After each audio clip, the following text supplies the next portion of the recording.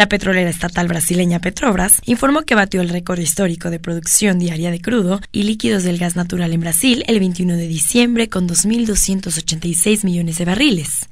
La marca fue lograda gracias a la producción subsal, que exigió cuantiosas inversiones de Petrobras en los últimos años. El nuevo nivel histórico se debe principalmente a la contribución de nueve sistemas de producción.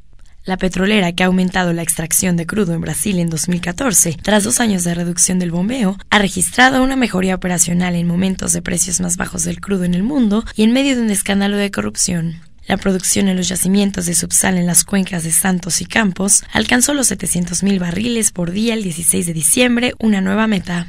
Con información de agencias, El Economista TV.